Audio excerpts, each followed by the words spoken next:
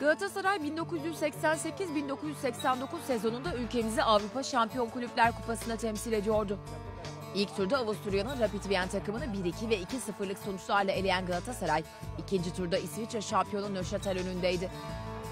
Mustafa Denizli'nin öğrencilerin ilk maçtaki iyi futbolu bir işe yaramadı. Sahaya giren terör örgütü üyelerinin de etkisiyle maçın sonlarında peş peşe yenen goller 3-0'ı getirdi. İstanbul dönüşünde basın Denizli'ye ateş püskürüyordu. Mustafa Hoca ise turu geçeceklerine emindi. Ama o da cezalıydı. Ali Samiyen de Uğur Tütüneker'le başlayan gol sahnağı ikinci yarıda da devam etti. Tanju Çolak'ın 3 golü ve Uğur'un ikinci golüyle gelen 5-0'lık galibiyet. Arada bir futbol sevmezin attığı bozuk para Nöşatel'in ısınan yedeklerinden birinin kafasına geldi. Buna İsviçre ekibinden itiraz geldi. UEFA maçın tekrarına karar verdi.